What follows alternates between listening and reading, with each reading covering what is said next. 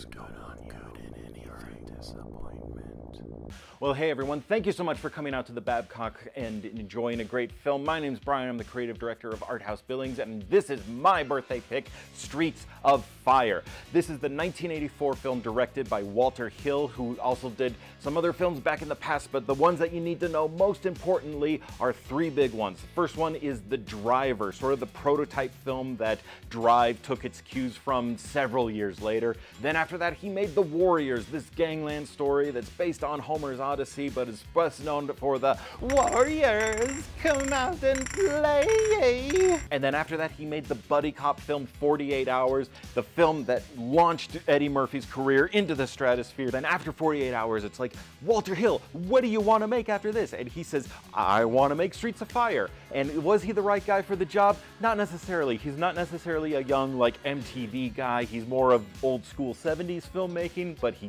did it anyway. And it is mixed. So what this is is a rock and roll fable, and the way that Walter Hill describes it is the queen of the hop I got a girl they call the queen of the hop. Well. gets kidnapped by the leader of the pack, That's what I fell for, the leader of the pack.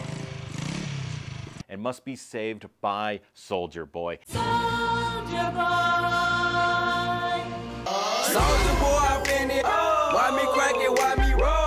takes place in this sort of retro futuristic world that is uh, full of lots of 50s sort of iconography, but also a lot of 80s iconography. And everyone in it is young and hot. None so more than a very young Diane Lane, who plays Ellen Aim, this pop superstar that gets kidnapped by a very young Willem Dafoe as Raven, and he is crazy and awesome.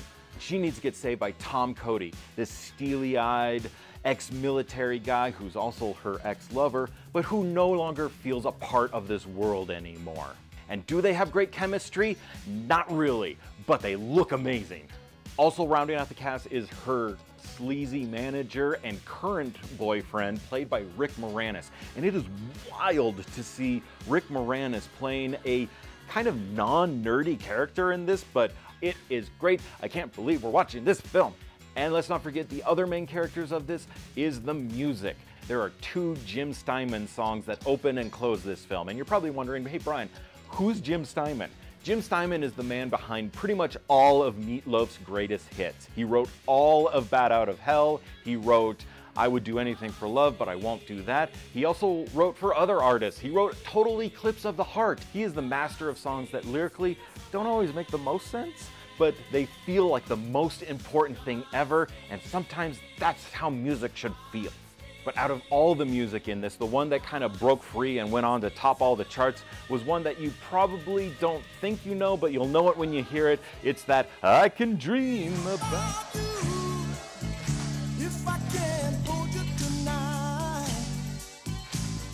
Ugh, I heard it so much growing up. It's terrible and I love it. So why isn't this a bigger hit that everyone knows?